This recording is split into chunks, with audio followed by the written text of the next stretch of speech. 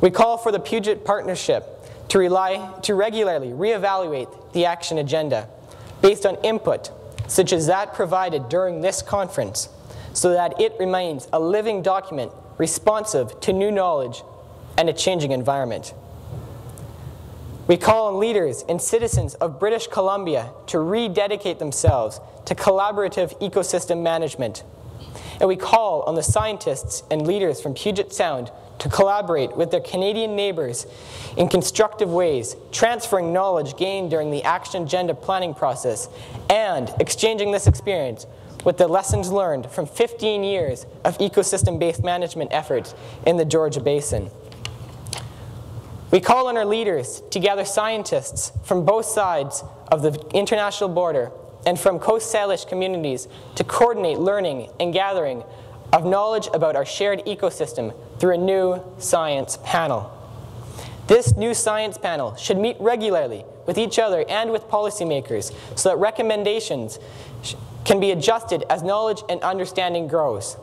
They should be tasked with creating a research agenda that will enable policymakers to make wise judgments. They should also share their knowledge with citizens and educators to establish a common understanding of the Salish Sea. We call for the creation of a working group tasked with developing, refining, expanding, and using indicators of ecosystem health that are meaningful to the entire Salish Sea.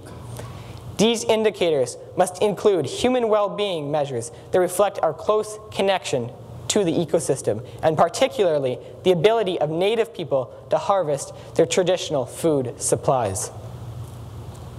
We call for existing transboundary government bodies to establish, within the next two years, portals that will allow the exchange of information and identification of collaborative projects on how to restore an ecosystem.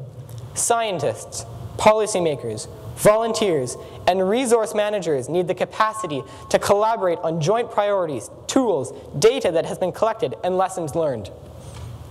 We must tell the truth about what we do know, and we should openly acknowledge what we do not know. However, we must not use a lack of perfect knowledge as an excuse not to take sensible actions. We call for a commitment to pursue accountability and effectiveness in the governance of the Salish Sea.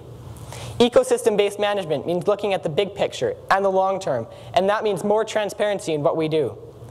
It also means fostering stewardship on a wider scale. We must work as though there are no boundaries, to set priorities for protection at the level of the ecological region and encourage collaboration among scientists, planners, and decision makers at all levels of government. On Sunday night, Billy Frank stated that we should involve the people in saving the Salish Sea. We call for support for programs to educate a new generation of scientists and youth, and we recognize the need for close coordination among all groups working to inform, educate, and involve the public in Salish Sea restoration.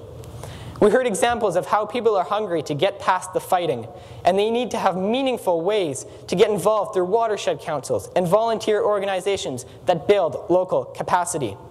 Citizen scientists collect important information, and we need to use their energy and expertise to learn and adapt. What does the future hold for the Salish Sea?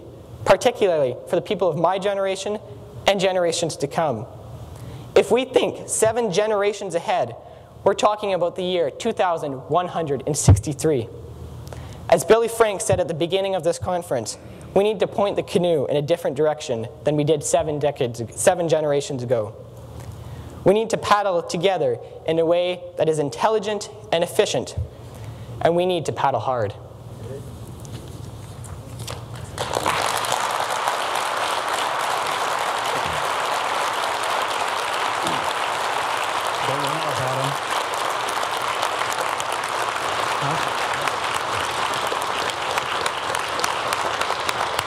HHCM, uh, Adam, could you please stand?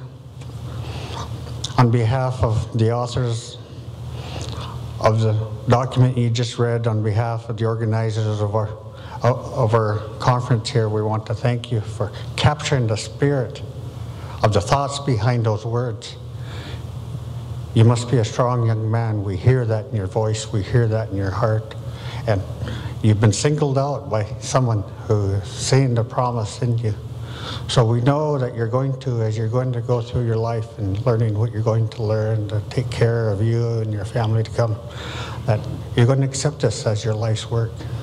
So Hayachkasasiam, on behalf of the organizers, we ask you to accept this little gift to remind you of this day today.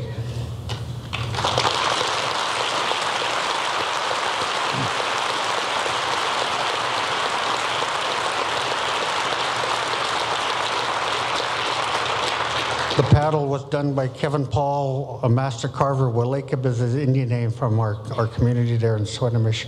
You put that up on the wall somewhere, and every day that you get up, you'll see it, and you'll remind yourself of what, what has happened here and, and the job that you perform. So, Haichkasasiam, on behalf of every one of us, we won't